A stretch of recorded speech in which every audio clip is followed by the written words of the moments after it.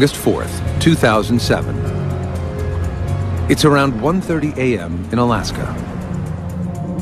And 52-year-old Mindy Schloss, a psychiatric nurse practitioner, is planning her Saturday.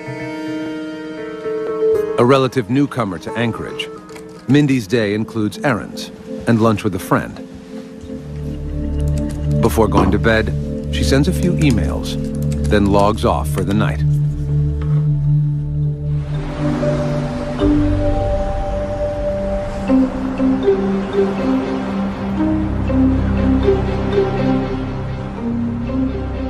Saturday, when I called her, there was no answer. And then on Sunday, her cell phone was full, not taking messages, and that was not like Mindy.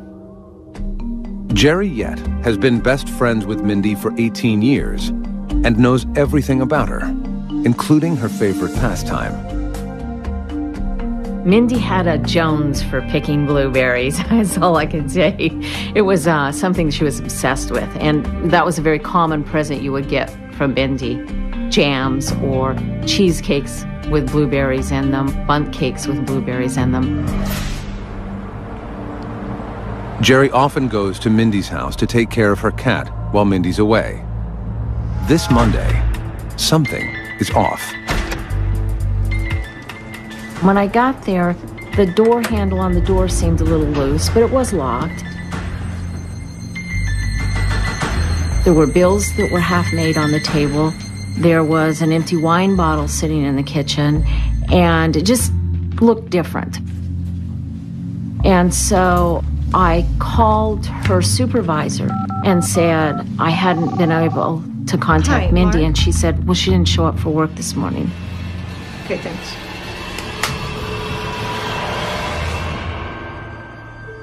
Mindy commutes 360 miles to her job in Fairbanks every other week and almost never misses work. Concerned, Mindy's boss calls the Anchorage police to report that she might be missing.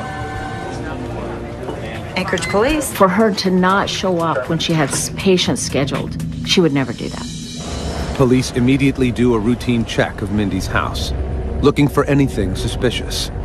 But there are no signs of forced entry. Then, Mindy misses work again on Tuesday. Her boss makes another call to Anchorage police. I was on my way home one night, and the sergeant of our unit called and uh, said that we had a suspicious missing person and asked if I could come back in and work on the case.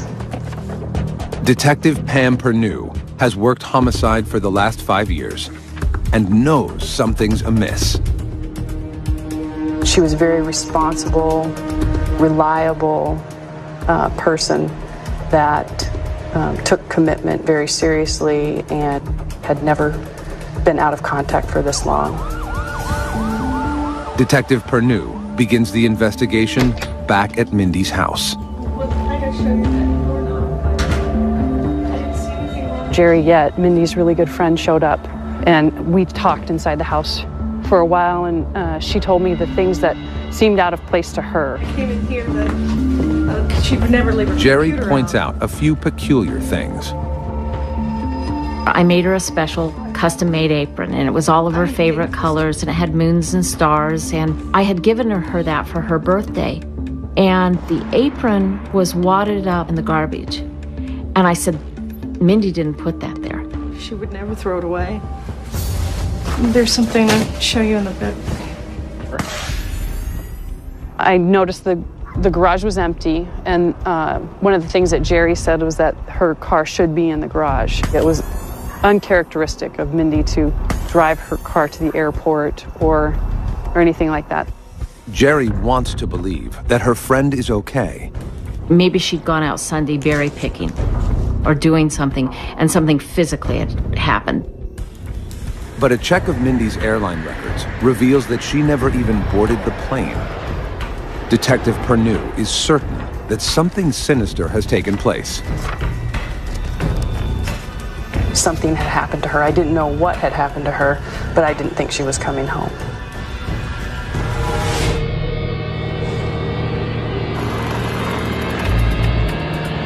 Detective Pernew combs through Mindy's bank records. You just kind of can look at someone's bank information and figure out if if things are normal in their life at that point or if things are unusual and something's wrong. She notices suspicious activity on Mindy's statements. Two $500 ATM withdrawals from two different banks the day after Mindy disappeared. They said that it was unusual for her to withdraw cash, and the cash withdrawals were in the early morning hours. Detective Pernew reviews surveillance footage from the Wells Fargo and Credit Union One banks, taken in the early hours of the morning. What she sees next confirms that it wasn't Mindy taking out the cash. And it was a white male, and he had a bandana pulled up um, just under his eyes, and he had a hat on, a baseball cap on. It looked like he was trying to disguise who he was. Detective Pernew is now certain Mindy is in danger. She needs help fast and knows the most relentless investigators of murder and money are the FBI. She contacts Special Agent Mike Thorson.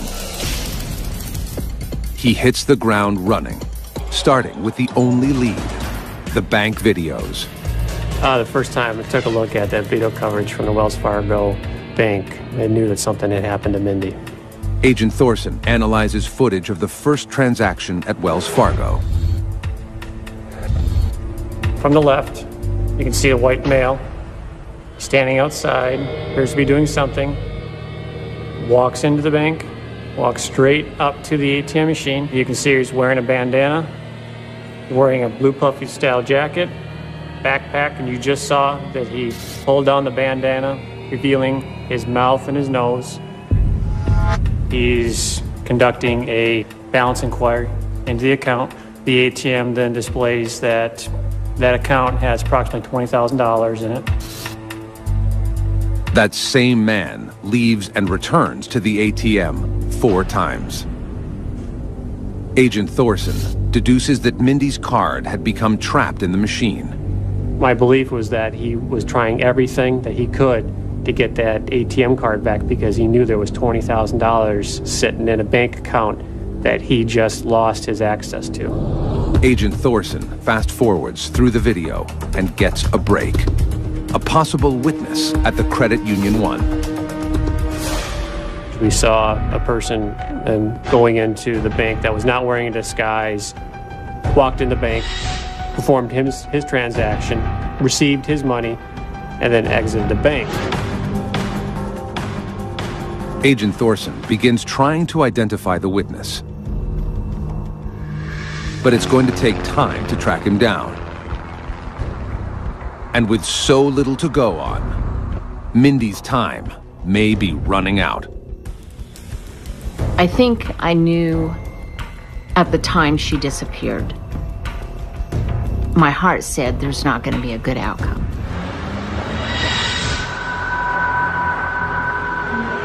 Special Agent Jolene Godin is questioning everyone who has crossed Mindy's path.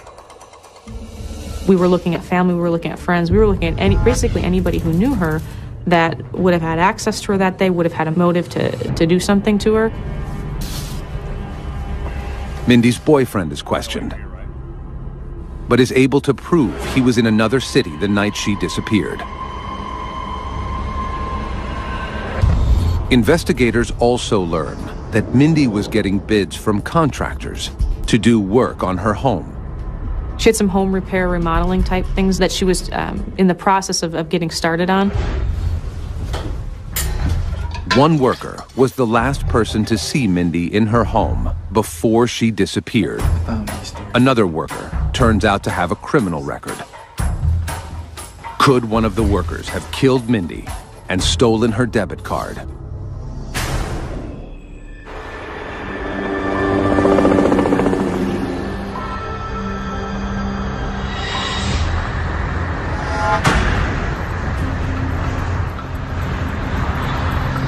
Before long, a friend spots what could be Mindy's red Acura Integra near a cargo facility at Anchorage International Airport. Just driving down the street, happened to look over, pulled in, compared the license plates, and sure enough, it turned out to be Mindy's car. FBI agent Mike Thorson and his team think they're onto something when they find surveillance video of the parking lot. We were able to see Mindy Schloss's red Acura come into view, park in a stall, and see what appears to be a male wearing a backpack exit the vehicle and then walk outside of view of the camera. But they can't identify the man because he's too far away from the surveillance camera. Their frustration grows. When we see the video footage, you have another potential lead that ends up going really nowhere. Without a positive ID, investigators pin their hopes on finding a clue inside Mindy's car. We found uh, inside the car um, Mindy Schloss's purse, house keys, car keys, a wallet, everything except for her ATM card.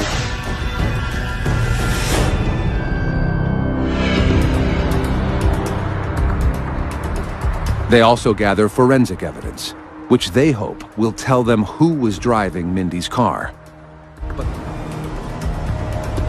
They lifted, tried to lift fingerprints. They swabbed for DNA and did a number of things with the car, and they were actually able to get a couple of, of swabs off the steering wheel that were sent to the state crime lab. But the results will take weeks. And the FBI doesn't have that kind of time. Special Agent Jolene Godin reaches out to Washington, D.C. We contacted our evidence response team unit out of headquarters and then asked them if they would deploy the human scent dogs as well as cadaver dogs out to Anchorage to assist. Supervisory Special Agent Rex Stockham helped create the Bureau's Forensic Canine Program in 1999. He makes the decision to assist the Anchorage unit in their search for Mindy. The decision to bring five dogs uh, uh, was, was pretty simple for us. Uh, we had a lot of uh, square miles, if you will, to cover, uh, both looking for the body and looking for the offender. As the FBI readies its dogs, Anchorage PD canvasses Mindy's neighborhood. Detective Pam Pernew goes door to door, asking residents if they've seen anything unusual. They all mention Mindy's next door neighbors. Every single house pointed to this house, saying that this house had a lot of young people that were living in it, that it was loud, there were parties, uh, people coming and going at all hours of the night. They didn't have a good accounting for who actually lived there and who didn't. When investigators finally do speak to residents of that house, they can't get a straight answer. They'd just be very evasive about who all lived in the house, how many people lived there, anything having to do with who was in that house. Why are they hiding something? What is it? What's going on that they're not willing to really talk about who's there?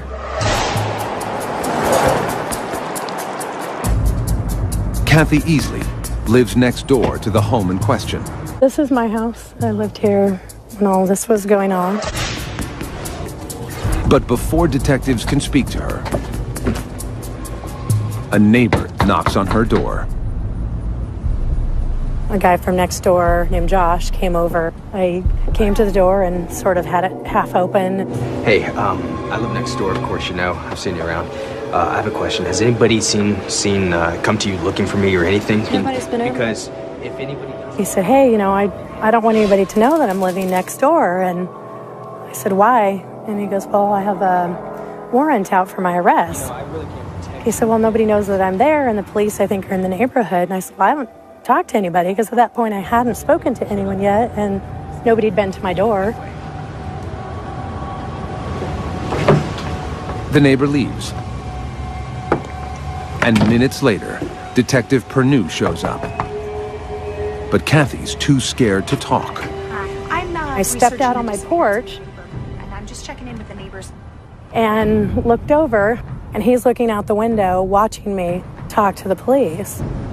Okay. So I made some pretty big hand gestures to them that I didn't know anything about it. I don't know anything. And just shook my head a few times so that it, I knew he would see that. Well, if you do notice anything out of the ordinary, do me a favor and give me a call. Okay. Thank you so much for your time.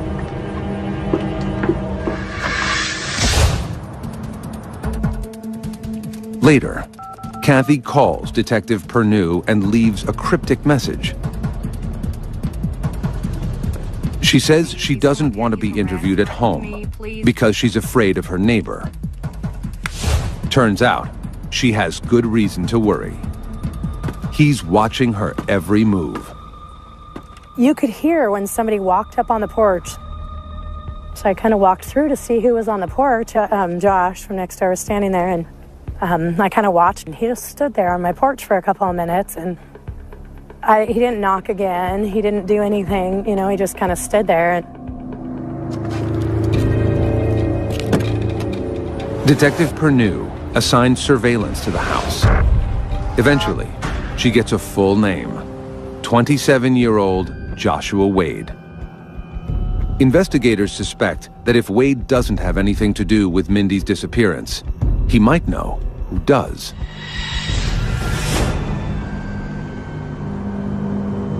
August 16th. It's now been 12 days since Mindy disappeared, and the chances of finding her alive are dwindling. The FBI's forensic canine team arrives in Anchorage. They start at the Wells Fargo Bank, where agents present the dogs with scents taken from Mindy's car. They immediately get a positive response.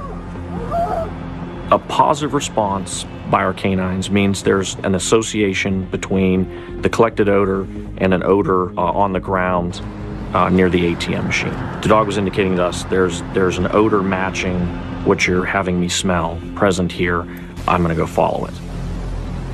A bloodhound drops down and starts running the trail to the source. It leads them straight to Mindy's neighborhood. You come to Minnie's house before you come to Josh's house, and the dog uh, kind of went up to Minnie's house a little bit and sniffed around, and then went to the fence that separates the two houses. The dog's nose went up in the air, and then the dog went down the fence line and around the fence and up the front yard of, of Josh Wade's house, and then went to the side door. Agent Godin is watching the dogs closely. To her surprise, a second bloodhound also makes a beeline, straight to Joshua Wade's house. I thought it was going to be helpful, but I had no idea that this was going to happen, and so um, I was pretty excited. Investigators are now suspicious that Joshua Wade knows what happened to Mindy. And they get even more curious when they look into Wade's past and learn that this isn't his first brush with the law. August 12th, 2007. It's been nearly two weeks since anyone has heard from 52-year-old Mindy Schloss, and hopes are dwindling that she's still alive. We knew that something had happened to her. We just didn't know if it was an accident or if somebody had somebody had hurt her. Agents refocused their investigation, going back to Mindy's friends and construction workers, people they had previously questioned. None of the leads pan out. We ruled out the roommates. We were able to rule out the contractors that had recently been at Mindy's house. We were able to rule out Mindy's close friends. But there is one person of interest 27 year old Joshua Wade that they don't rule out. Especially when they learn he's been linked to another missing woman.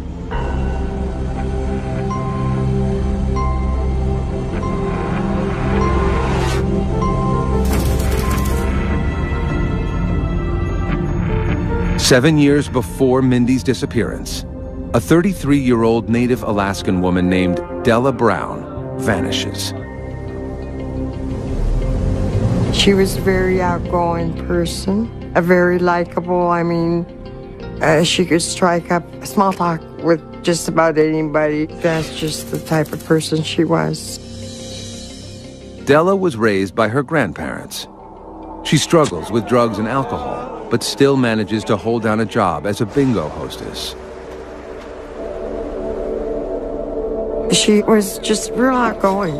And if you looked at her direction, Can I get you guys anything else? she always smiled back. She had a forever smile. Thanks.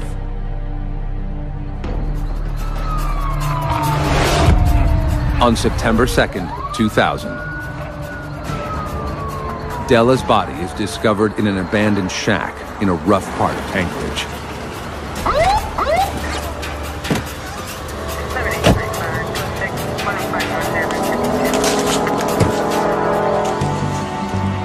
The shack is known around town for drug use, gambling, prostitution, and tonight, murder.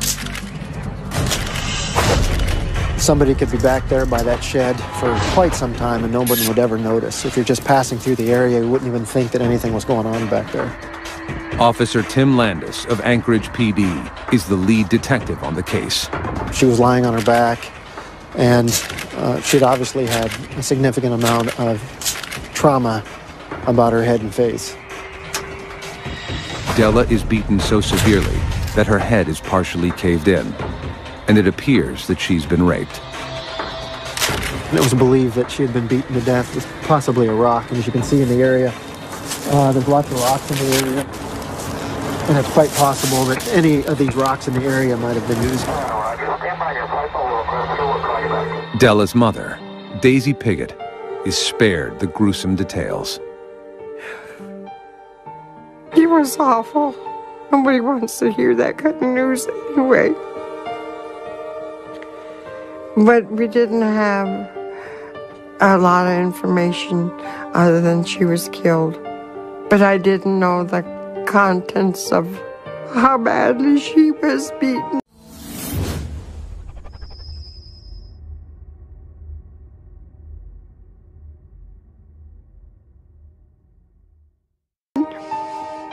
And cut because they kept that from me.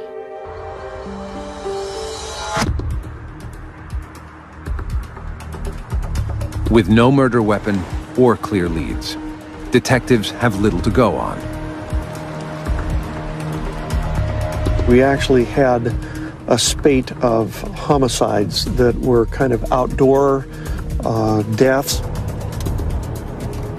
Detective Dave Parker is concerned a serial killer may be on the loose. There are about uh, five or six, and we didn't know if it was a single person doing this or whether it was multiple incidents, and they just happened all at the same time.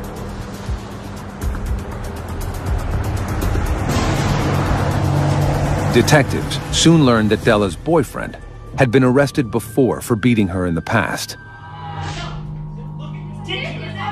At first, he's a prime suspect. When we initially found her, everyone is a suspect, I guess. But after a while, we determined that he more than likely was not involved. Detectives have little to go on and scramble to keep the case from going cold. It was very frustrating because uh, it just we were investigating all the leads that we could find, and it just seemed like they led nowhere. Until they get a surprising tip. We received a tip that indicated a person had seen the body prior to it being reported to police, and that this person that had seen the body had been taken there by the subject that had killed Della. A group of informants claim a 20-year-old named Joshua Wade saw Della passed out on the side of the road hours before she was murdered. They say he later killed Della in cold blood. Then took them to see the body. Josh showed up and he was excited, was sweating, had what appeared to be blood on the front of his hooded sweatshirt. And at some point during that time, Josh was saying, Hey, come over here, I want to show you something. And took him to the shed and showed him the body. This. Yeah.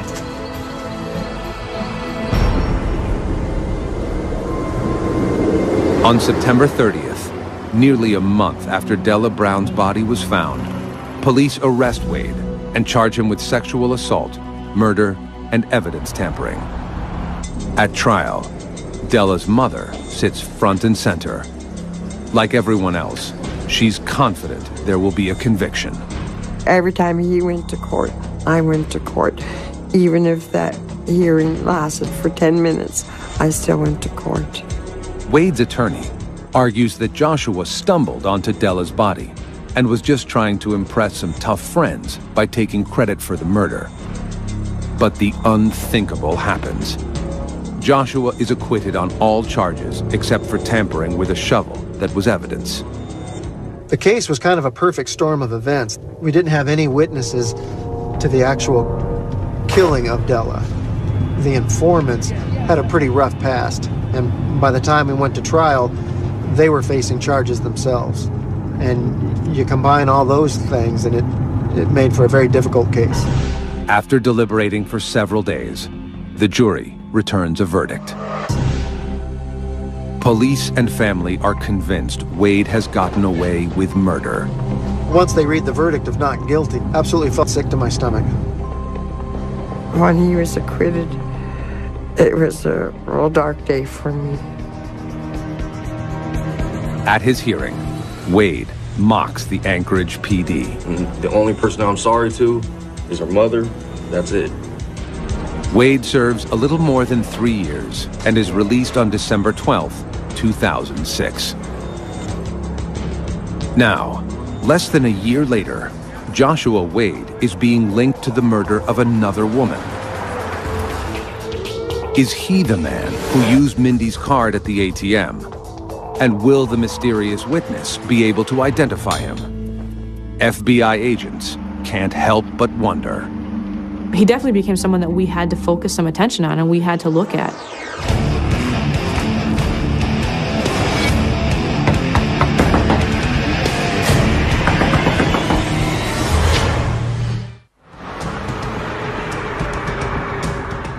A year after his release from prison for evidence tampering in the murder of Della Brown, the FBI is now questioning Joshua Wade's role in the disappearance of Mindy Schloss.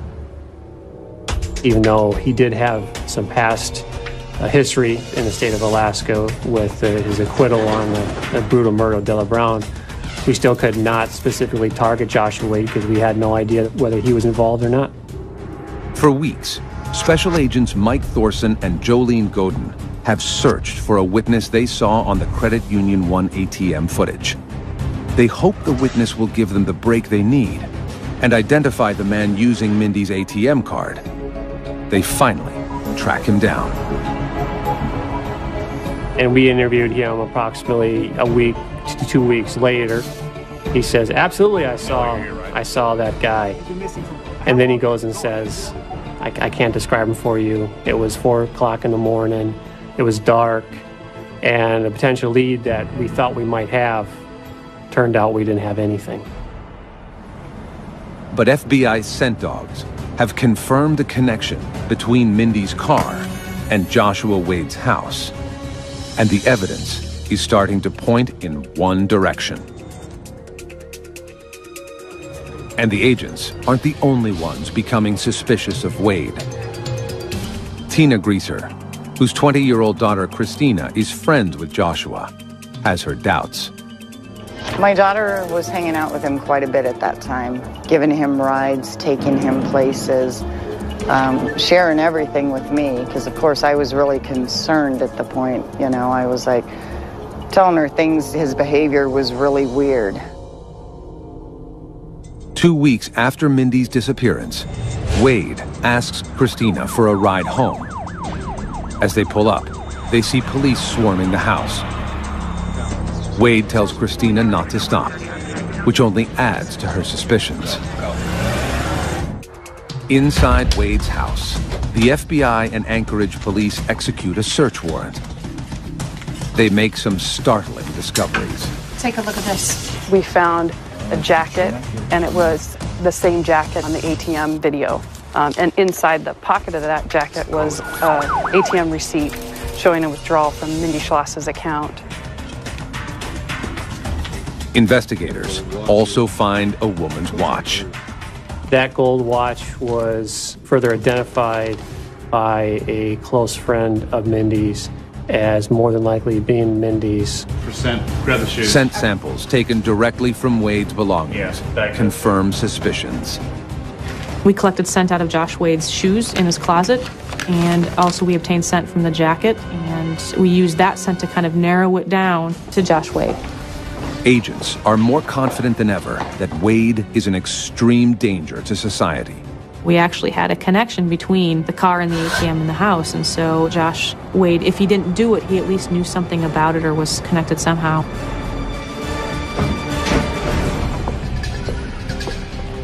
Agents scramble to put Wade behind bars as quickly as possible. With no body, they still don't have enough evidence to bring murder charges against him. But they do have enough to pursue bank fraud and aggravated identity theft charges. Aggravated identity theft had a two year mandatory minimum sentence. And what that is, you're using Mindy Schloss's ATM card in a manner that uh, involved violence. Two years should buy agents enough time to find Mindy, who is now presumed dead, and to build an airtight murder case. But first, they have to locate Joshua Wade. Unfortunately, there's a catch. He's gone into hiding. On August 29, 2007, more than three weeks after Mindy vanished, a federal arrest warrant is issued for Wade, and the biggest manhunt in Anchorage history gets underway. Trying to find Joshua Wade turned out to be a, a, a difficult task. APD and FBI hit the streets, tried to find him almost on a daily basis, discovered that, that we were minutes, hours behind where he had just been. Wade's father, Greg, is overwhelmed. I wanted so much to believe I may have been wrong and he may not have committed the first homicide. And then here another woman ends up missing that's had contact with my son. I was just devastated. He makes a public appeal to his son. I love him. I love you, Josh. I want you to turn yourself in.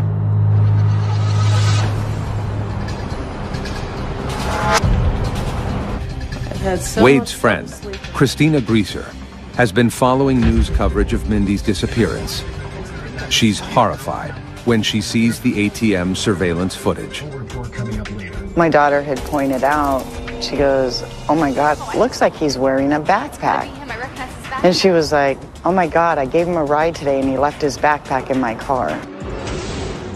They rush out to the car and look inside Wade's bag.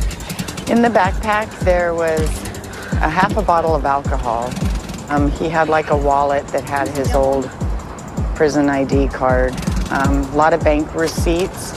There was also a cell phone in there that had pictures of a gun on it. It's like a gun. My God, we gotta. Christina calls the police and tells them everything she knows. To her surprise, Joshua Wade shows up at her East Anchorage apartment within hours. Christina is standing face to face with a suspected killer, and she's terrified. Josh wanted my daughter to give him a ride out to Wasilla. He said he had something to take care of out in Wasilla and to pick up uh, some CDs and other personal belongings that he owned at the time. But my daughter refused. Josh, I can't, okay? I need your ride. At that point, she made the excuse to go into the apartment for a cigarette.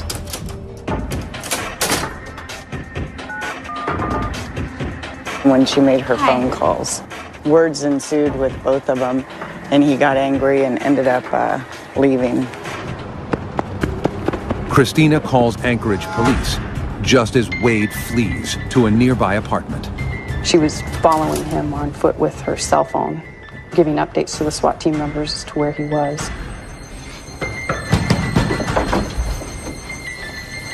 Hey! He knocks on the door of an apartment and asks to use the phone, then pushes his way in. Don't even mess with me now. There were a brother and sister that lived in the apartment, and he eventually let the brother leave, and the sister stayed in the apartment.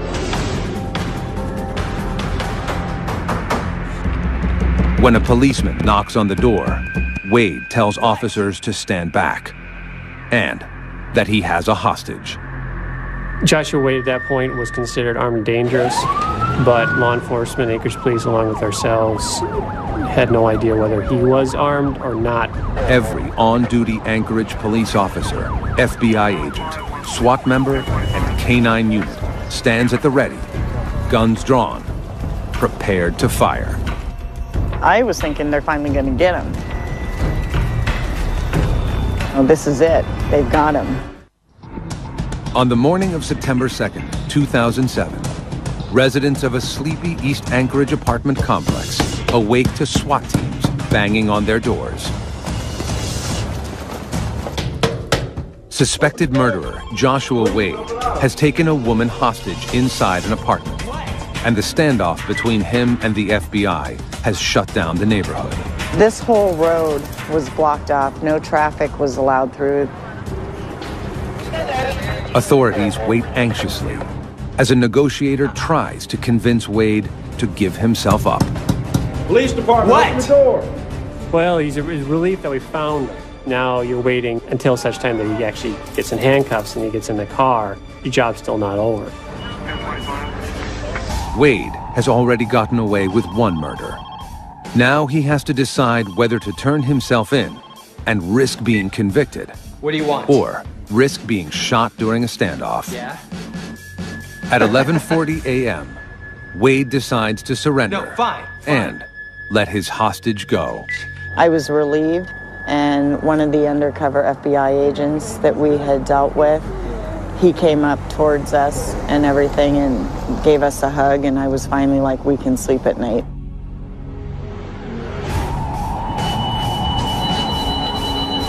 Officers cuff Wade and take him to FBI headquarters for questioning.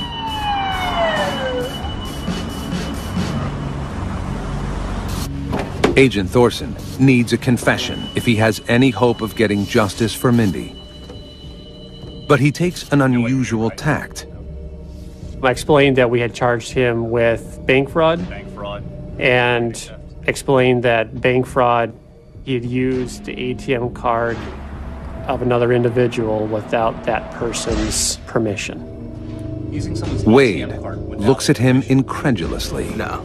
You're assuming that. You guys assume this. You guys assume all this? No, we don't assume. We have a little bit more than assume. I mean, we actually talked to Mindy, you know. Hmm? What'd you just say? They said we talked to Mindy. You guys trying to play games with me, man? I stated we had spoke with Mindy Schloss, which was not true. We had not spoke with her.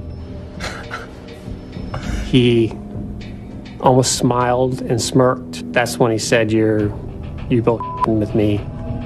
Agent Thorson is certain Wade knows exactly what happened to Mindy. When he smirked and smiled, to me, she she was dead. Joshua Wade is transferred to the Anchorage jail.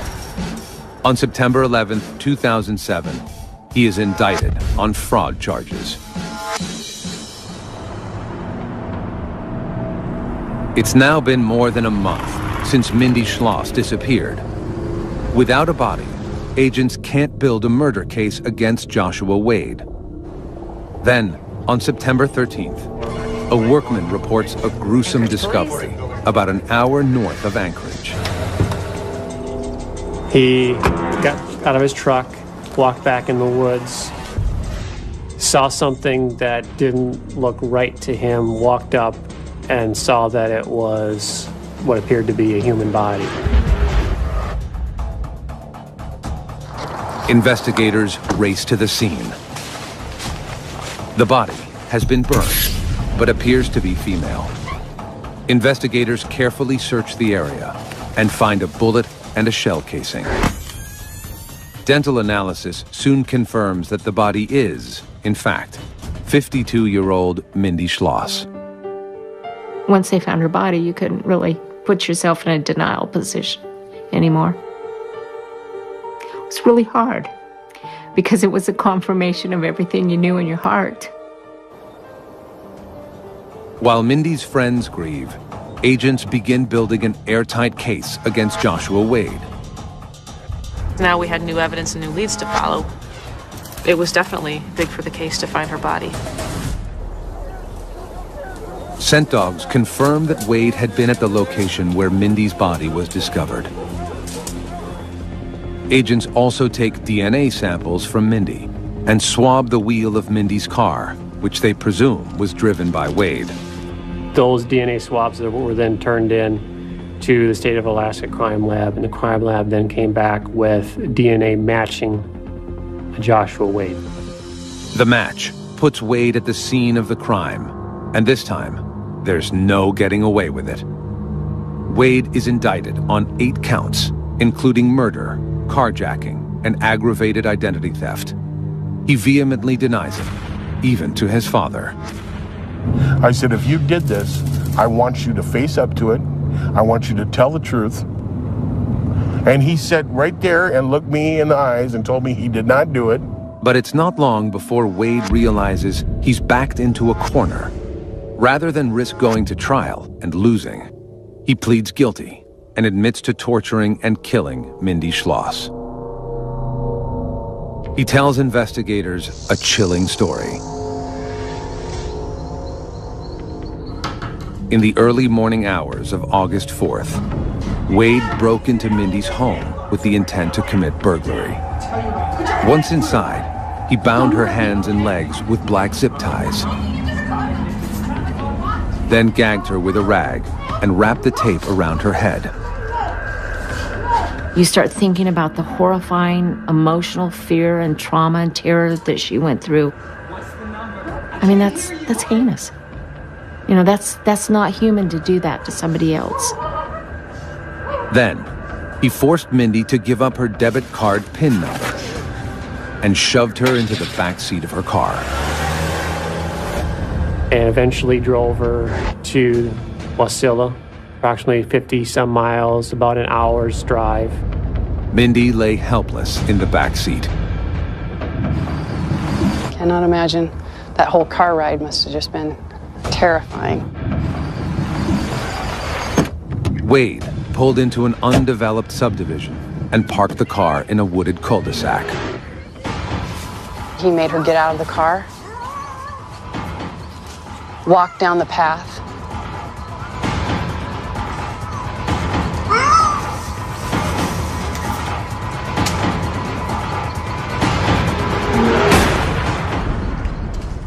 He shot her in the back of the head. Wade returned to Mindy's home and tried to conceal his crime.